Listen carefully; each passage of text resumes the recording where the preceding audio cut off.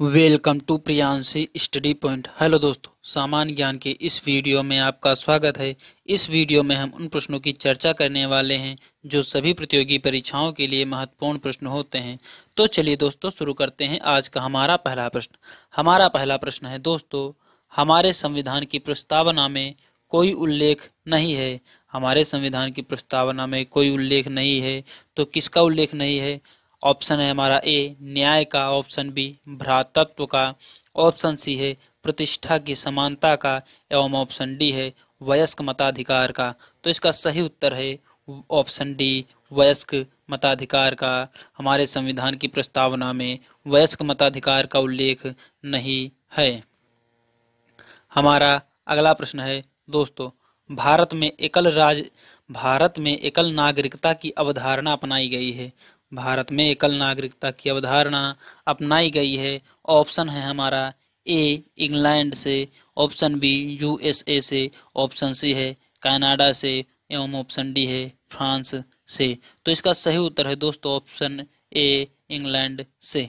भारत में एकल नागरिकता की अवधारणा जो है ये अपनाई गई है इंग्लैंड से। आप वीडियो को पोज करके इन प्रश्नों को नोट कर सकते हैं।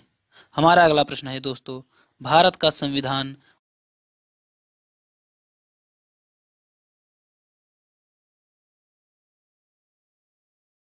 राज्यमंडल, ऑप्शन बी, राज्य संघ, ऑप्शन सी है महासंघ एवं ऑप्शन डी है उपरयुक्त में से कोई भी नहीं।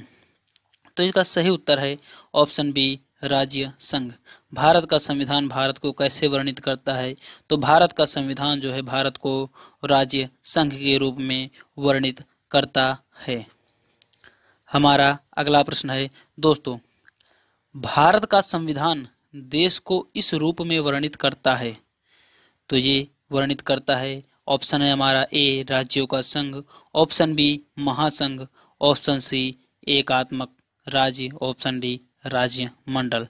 तो इसका सही उत्तर है राज्यों का संघ। भारत का संविधान देश को किस रूप में वर्णित करता है? तो राज्यों का संघ, यानी राज्यों के रूप में भारत का जो संविधान है, ये इस देश को वर्णित करता है। हमारा अगला प्रश्न है दोस्तों, भारतीय संविधान ने सुदृढ़ केंद्र के साथ संघीय प्रणाली कहाँ से ली है? भारतीय संविधान ने सुदृढ़ केंद्र के साथ संघीय संघीय प्रणाली कहाँ से ली है? ऑप्शन है हमारा ए, संयुक्त राज्य America, option B, Canada, option C, United Kingdom, एवं ऑप्शन डी, फ्रांस। तो इसका सही उत्तर है दोस्तों, ऑप्शन बी, कनाडा। भारतीय संविधान ने सुदृढ़ केंद्र के साथ संघीय प्रणाली जो है, इसको कनाडा से लिया है। ऑप्शन नंबर हमारा वी सही है। हमारा अगला प्रश्न है, दोस्तों, भारत का संविधान अपना प्राधिकार किससे प्राप्त करता है? ऑप्शन है हमारा ए, भारतीय स्वतंत्रता अधिनियम 1947 ऑप्शन बी, समाज के सभी वर्ग के लोगों के द्वारा प्रतिनिधित्व संविधान सभा। ऑप्शन सी, भारत की जनता एवं ऑप्शन डी, राष्ट्रपति और सर्वोच्च न्यायालय। तो इसका सही उत्तर है ऑप्शन सी, भारत की जनता। भारत का संविधान अपना प्राधिकार किससे प्राप्त करती है? तो भारत की जनता से भारत का संविधान अपना प्राधिकार प्राप्त करती है। काफ़ी महत्वपूर्ण प्रश्न है, सभी एग्जामों में पूछे जाते हैं। हमारा अगला प्रश्न है, भारतीय संविधान में न्यायिक समीक्षा का प्रावधान किस देश से लिया गया है? भारतीय संविधान में न्यायिक समीक्षा का प्रावधान किस देश से लिया गया है? ऑप्शन है हमारा ए, आयरलैंड। ऑप्शन बी है यूएसए, यानी United State America. Option C, Australia. Option D, Canada. तो इसका सही उत्तर है दोस्तों, option B, USA, United State America. भारतीय संविधान में न्यायिक समीक्षा का प्रावधान जो है, ये यूएसए से लिया गया है। हमारा अगला प्रश्न है दोस्तों, संविधान की उद्देशिका में समाजवादी और पंथ निरपेक्ष शब्द किससे, किसके द्वारा जोड़े गए?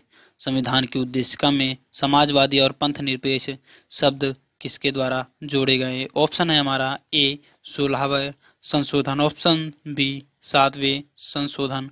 ऑप्शन सी, बयालीसवें संशोधन। एवं ऑप्शन डी, चौरालीसवें संशोधन।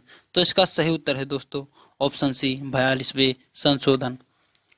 भारत संविधान की उद्देशिका में समाजवादी और पंथ निरपेक्ष शब्द किसके द्वारा जोड़े गए? तो ऑप्शन सी सही है, बयालीसवें संशोधन के द्वारा जो है समाजवादी और पंथ निरपेक्ष शब्द जो है ये जोड़े गए हैं। हमारा अगला प्रश्न है दोस्तों, सर्वसत्ता संपन्न संसद की अवधारणा किस देश की देन है? सर्वसत्ता संपन्न संसद की अवधारणा किस देश की देन है? तो ऑप्शन है हमारा ए